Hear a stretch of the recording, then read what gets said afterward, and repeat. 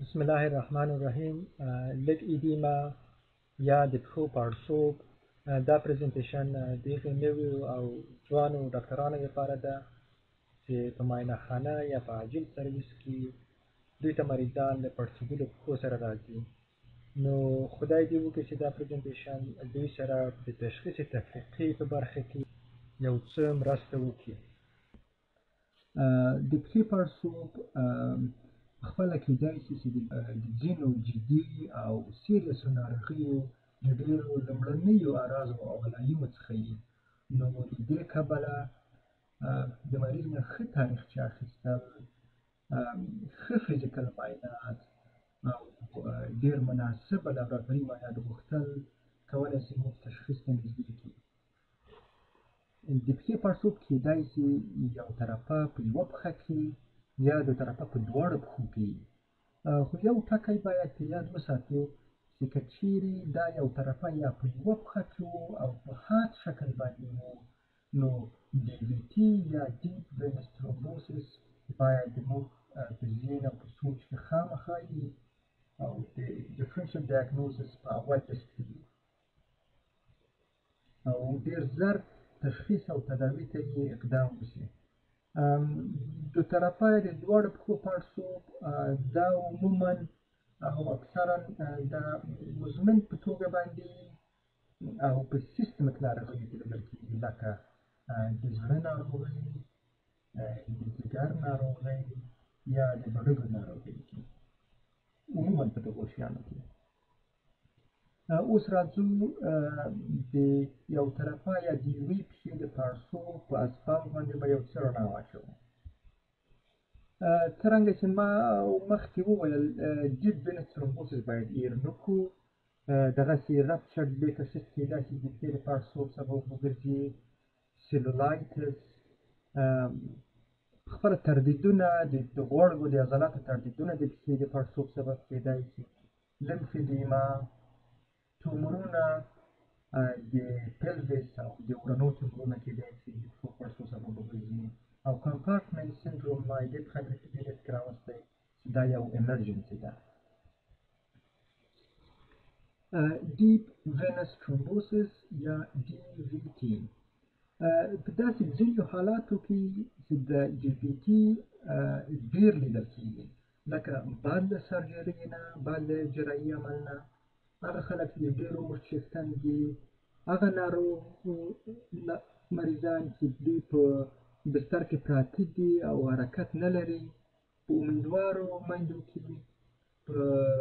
سرطاني حالات او سرطاني ناروغیو کې دلته هایپرکواګولیشن سټیټس وي او هغه زنانه مریضان چې دوی د فاملي پلاننګ یا د ضدي امیدواري دوا اخلي چې په هغه کې ایستروجن وي په خپله میزیتوب او هغه خلک چې ټوموفیلیا لري په دوی کې ډیبیټي ډېر لیدل کېږي ډي بي تي تداوي او تشخیص ولې مهم ده دا ولې باید زر تشخیص یا باید زر تداوي سي دې په خاطر چې دا ډېر سیریس کمپلیکیشنونه لري د هغې له جملې نه یو فیټل پلمنري امبولیزم ده چې دا کېدای شي مریض ووزني په دې حالت کې په خپله د وینې علاقه چې په پښه کې ده دا امبولایز کیږي او راځي لنګ ته چې د پلمري امبولیزم سبب کیدای شي او یو له بلې کمپلیکیشنونو نه پوسټ ترومبوټیک سندروم ده چې دا د مريض حيات ته خطر نه لري، خو دا يو ډېر مزمن او دردناک سويلنګ يا پړسوب د پښې پيدا کوي، چې دوامداره وي، ښه کېږي نه او د مريض د پښې پستوکی هم خراب کړي او زخمونه او داشان هم کېدای شي په پښه کې پيدا شي.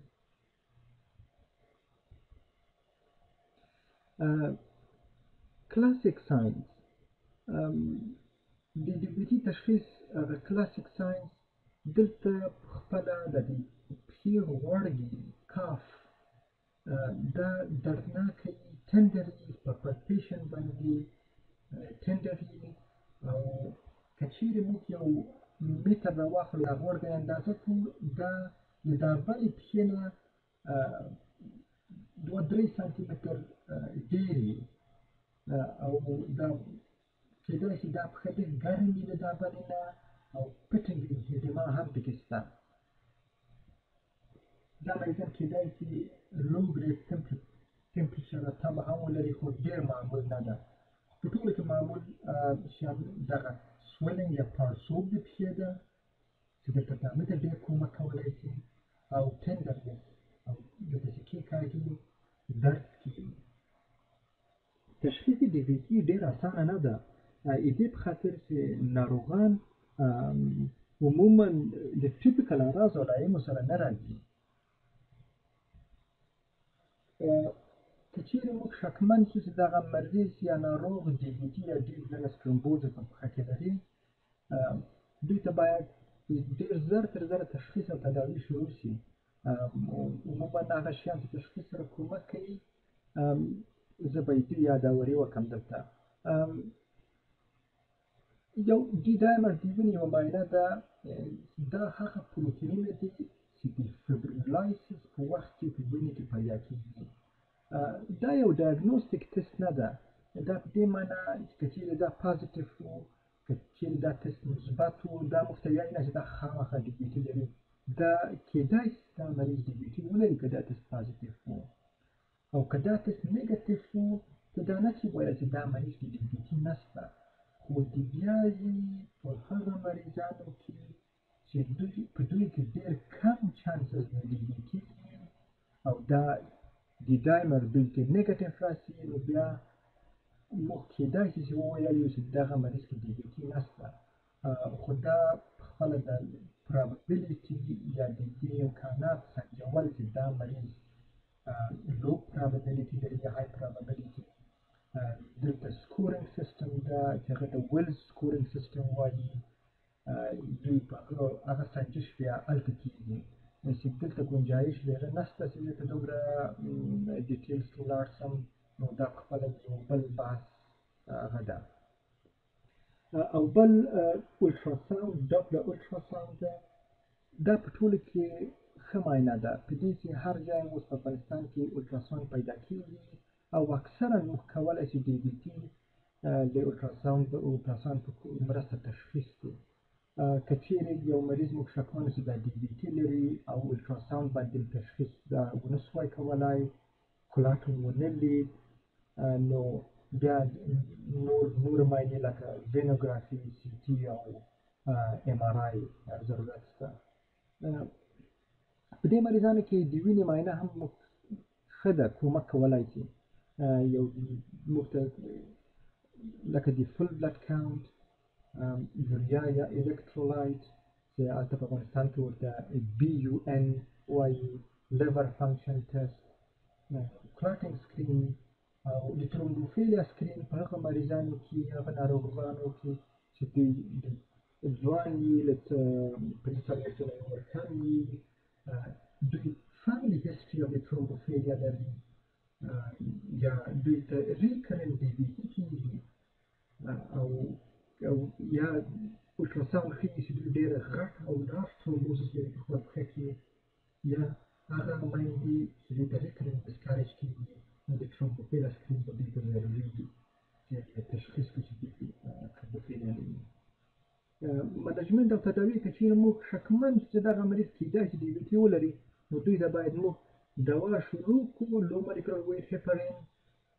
بیا نور ماینر درشان دی وکړي که چیرې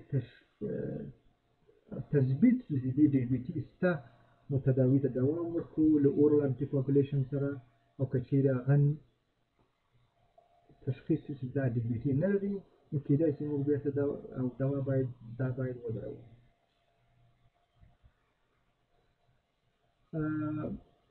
بل رپچرډ بیکر سیست ده چې رپچرډ بیکر سیست په خپله کېدای شي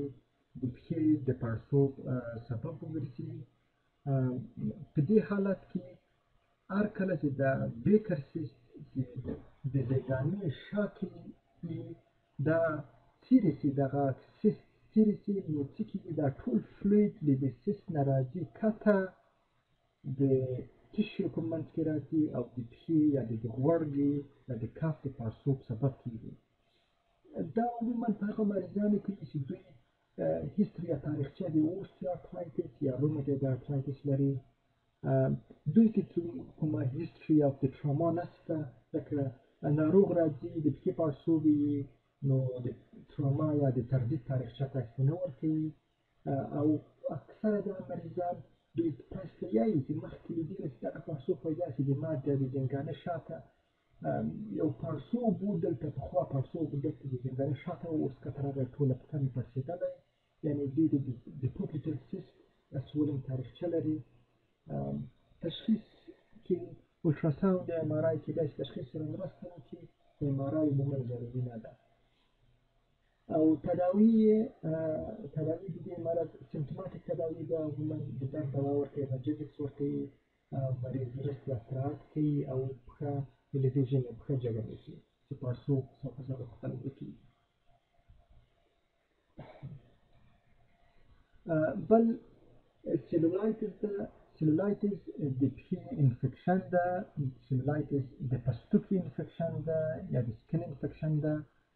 چې عموماً د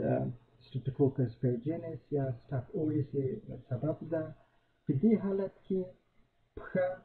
دردناکه وي رنګ یې سور وي او که چیرې د بلې پښې سره یې تاسې مقایسه کړئ دا ګرم وي د بلې بلې پښې نه او کېدای شي چې بلستر هم پکې وي په شدیدو حالاتو کې یا په کېدای شي د مریض تبه او لړزه هم ورسره وي چې دا د بکتریا ښکارندوی ده تداوی عموما د که چیرې د مریض ډېر تبه او لړزه او سیستم کې مریض ناروغه نه وو نو تداوی له اورل پنسلین جي پلس فلپ اکساسیلینګ او یا اریترومایسین او یا کولوسیکلار سره ده او بنزین سره ده او که چیرې مریض سیستمیکلی انول وو او ناروغ وو نو بیا مریض ته د آی وی انټي بیوټیک ضرورت شته عموما معاینات د وینې معاینات او دا شیان په هغو حالاتو کې چې مریض ناروغ سیستمیکلی انول وي نو دا ماینس وومن فل بلډ کاونټ د وینې کلچر او د ساحې نه د چلوات ساحې نه سواب سواب اخیستل کېږي او لابراتوار د کلچر لپاره استول کېږي دا کېدای شي مرسته وکړي کاف مسل تراما یا د غوړ کې د عضلاتو تردیدونه هم د پښې د پړسوب سبب کېږي په دې حالت کې عموما مریض د تردید تاریخچه لري او دا تردید ډایرکټ او مستقیما په پښه باندې دا ډیر درناک وي او تر څو ډیر تر څو ډیر او ډیر درد لري تداوی عموما انالجیزیک سته او د رست سره استراحت سره پښه دې جګ ونیسي او د یخ ټوټې هم کېدای شي درد کم کړي او درد او پړسوب کم کړي خو که چېرې پاړسوب ډېر شو، ډېرېده، نو کېدای شي چې کمپارټمنټ سنډروم منځته راځي. کمپارټمنټ سنډروم مخکې له دې چې کمپارټمنټ سندروم باندې وغږېږو یو په اناتومي باندې په پښه کې څلور کمپارټمنټ دي دا یو هوریزانټل هغه ده مقطع ده د پښې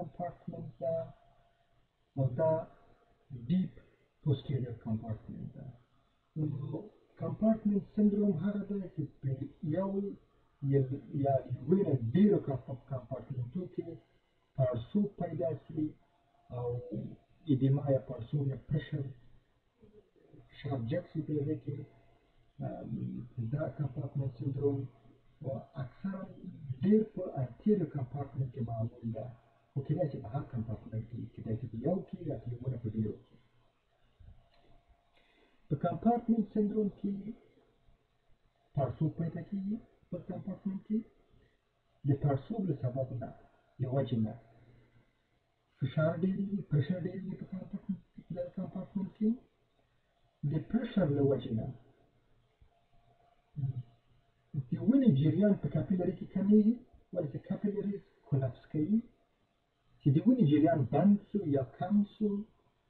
اسکیمیا منځ ته راځي او خپله اسکیمیا چې مخته ولاړ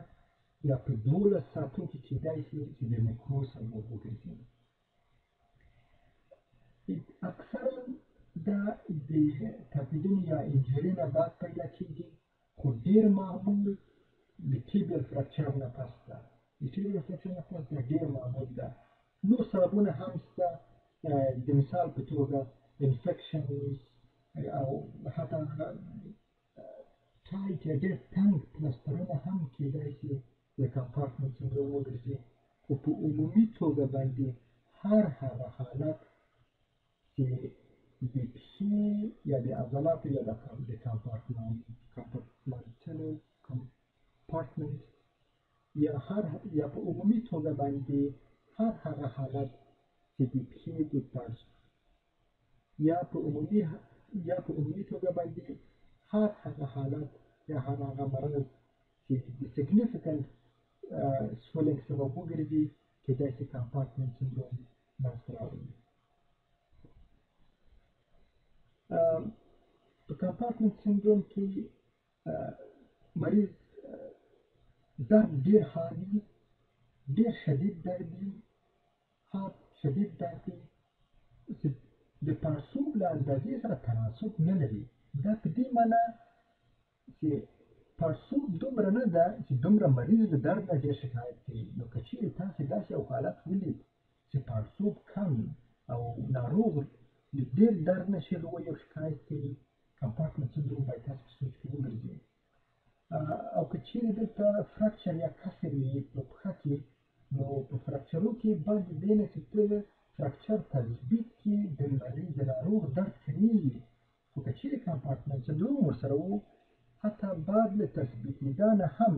دا درد نه کمېږي، نو که چېرې داسې یو حالت وو، فراکچر وو او د فراکچر له تثبیتېدا نه بعد هم مریض له درده چیغې وایي او درد یې ډېر وو، نو باید کمپارټمنټ سندروم باندې باید سوچ وکړو. نو دلته ډېر پاړسوبونه دي او وکړئ دلته ډیر پړسوب یی او تندر دردناک یی په پلتیشن باندی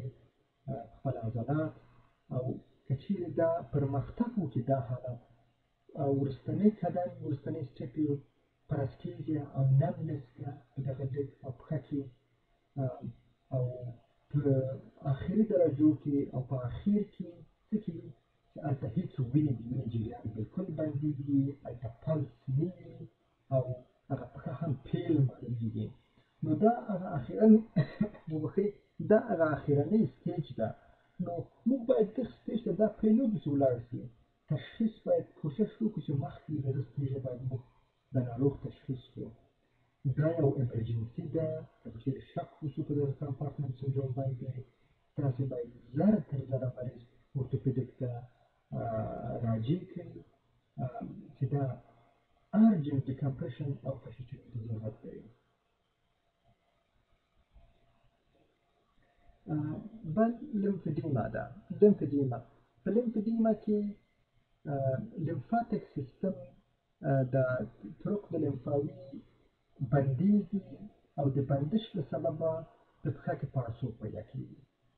چې تخته لمفدما یایي یعنې هر کله چې پړسو د لمفاوي سیستم د انسداد له سببه منځته راغی هغه ته لمفدما وایي دا عموما مزمن حالت ده او له وخت سره څوکه څوکه ډېرېږي دا کېدای شي پرایمري یا سیکنډري اسباب ولري د پرایمري لکه چې پرایمري کنجې د لعدن د کفایې د لیمفاتیک سیستم ده معده د کفایې لیمفاوي سیستم ده او سیکنډري سببونه یې هر هغه حالات هر هغه ناروغي چې د لیمفاوي سیستم د تخریب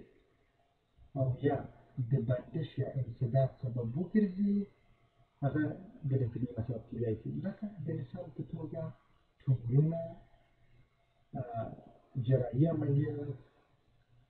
په ساحه کې ریډیوتراپي انتانات انجیو او کله کله هم پرازیټیک انفیکشن لکه فیلاریاسیس چې موږ او تاسو وطن کې معمول نه ده چې دا یو پرازیټیک انفیکشن ده چې د یو مچر سره انتقالیږي دا پرازیټ په لیمفاوي سیستم کې ژوند کوي او د لیمفاوي سیستم د استثمار سبب کېدای شي دا دوه عکسونه دي تاسو ګورئ چې دلته لیمفیډما یو طرفه ده دا لیمفیډما کېدای شي دوه طرفه هم وي په دواړو پښو کې هغه کانجنیټل شکل باندې په دې پړسوب کې دا عموما بې درده پړسوب ده درد نشته په دې پړسوب کې نان پټینګ ده پټینګ هم هم ډېر په دې پړسوب کې ډېر او د شپې او د ورځې له طرفه دومره فرق نه کوي لکه په هارت فیلیر یا په دا نورو حالاتو کې چې مریض د شپې څملي د شپې ودې کېږي پړسوب کم وي او د ورځې نه پکې ډېرېږي عموما د شپې او ورځې نه پړسوب یو رقم وي او په خپل قرهات جلدي جلدي قرهات دومره معمول نه ده پکې کېدای شي په مزمن جلدي تغییرات ولیدل شي کېدای شي قرغه هم ولیدل شي، خو قرغه د دومره ډېر معمول نه ده چې او تداوی شفا هم نه لري، تداوی نشته، منجمنټ یې عموما د په سبب پورې اړه لري چې سبب یې څه شی دی. او بل لکه چې مخکې یاده کړه د د پلوس د حوصلې یا د کای یا د ورانه تومورونه او مس کېدای شي د پښې د پښې د ریلاکشن د پړسوب سبب وګرځي چې په دغه حالاتو کې پلوس الټراساوند فزیکل اگزامینیشن کوم چې کوم ماسک په پلوس کې موجود د شک فیلم کې او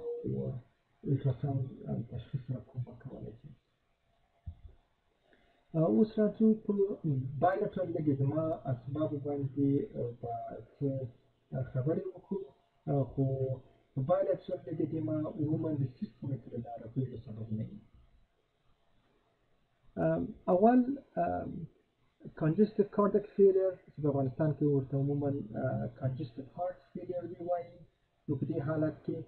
مریض نه دی بیا د بیا د پکې پړسوب سره راځي بلکې دا مریض عموما نور شیان هم لري اعراض او علایم دوی ډسمیا فتیګ ډېر زر زر دوی ستړی کېږي دوی ته اورتوپنیا یي پروکسیسمل نوکچورنل ډسمیا یي دوی په فزیکي معنی فزیکل اکزامینیشن کې چې وګوري دوی جي بي پي های دي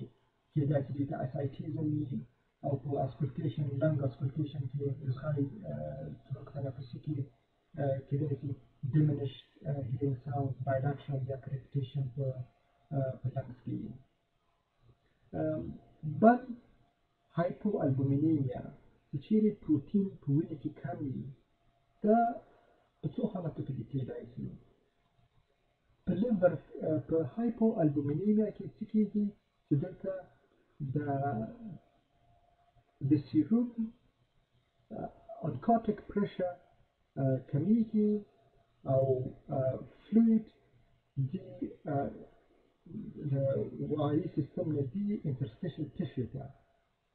نو هایپر البیومینیا عموما په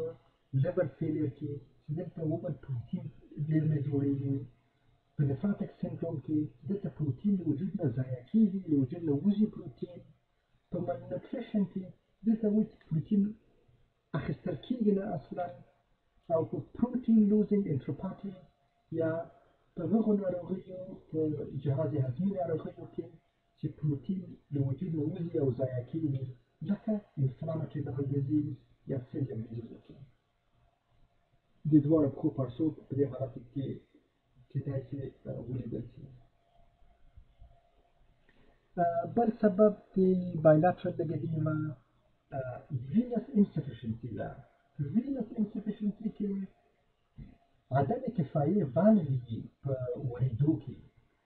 تاسې دلته وګورئ په وريد کې په هر وريدو کې به تاسې دا مفهومونه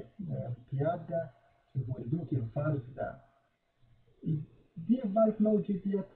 وینې ته اجازه ورکوي چې وینه دسل نه پروکسیمل ته ولاړ سي خو بېرته د پاس نه کته نشي راتلای ولې چې دا والف هغه رپي دي نو په وینس انسفشنسي کې د دې والف عدم کفایه پیدا کېږي نو دا والف کار نه کوي نو وینه له پاسه هم بېرته کته راځي نو د دې دې له وجې نه د ورېدو هایدروسټاټیک پرشر جګېږي ژنس پرشر جګېږي او فلوید او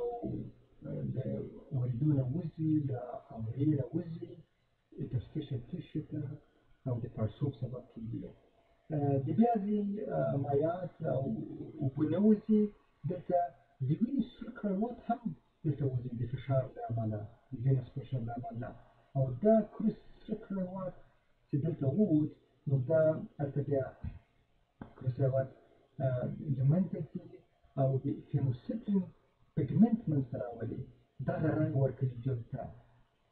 داسې موثر جنګ پکې نه لیده چې د سره کړی واک د تخریب له امله څنګه وژنه او تېری دلته پیدا کېږي نو دا مریضان دا کرونیک حالت ده یو مزمن حالت ده دلته عموما د جلد تخریبات یې کېدای شي اکزما ولیدل شي کېدای شي جلدي قرحات ولیدل شي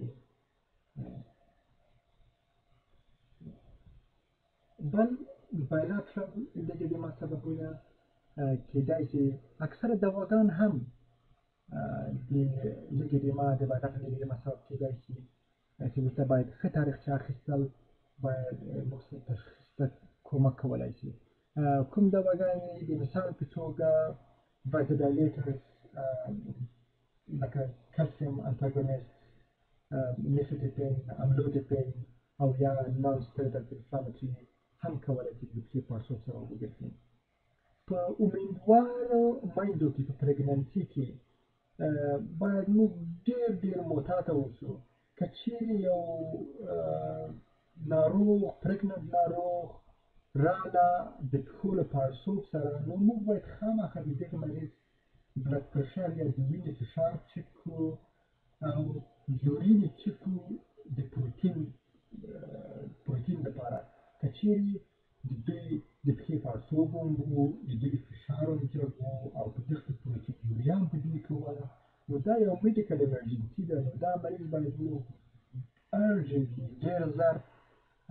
ګنې اوبسټریشن ته واستوو بل انیمیا که چیرې انیمیا سفیر وي دوم کېدای شي د د پښې پړسو وګرځي نو فزیولوژي عموما داسې ده چې په سفیر انیمیا کې